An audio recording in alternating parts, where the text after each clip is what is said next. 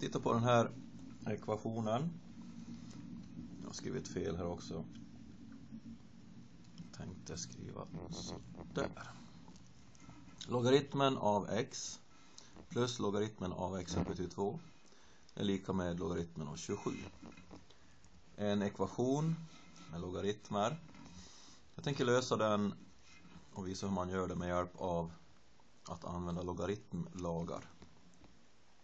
Vi har en logaritmlag som säger att att addera två logaritmer, samma sak som att göra en logaritm där man multiplicerar de ingående värdena.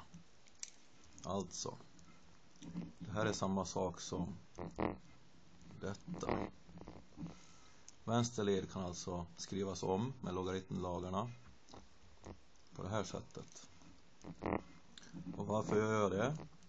Jo, därför att om jag har på bägge sidor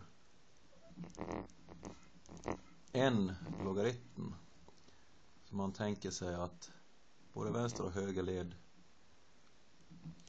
är en logaritmfunktion så måste de ingående värdena i logaritmfunktionen vara samma. Alltså x3 måste vara lika med 27. Och tredje roten ur 27 är 3. Så har jag löst ekvationen. Så metoden är alltså att på något sätt med hjälp av logaritmlagarna få en logaritm på vänster, vänster sida och en logaritm på höger sida. För att då kunna jämföra de ingående värdena i logaritmerna.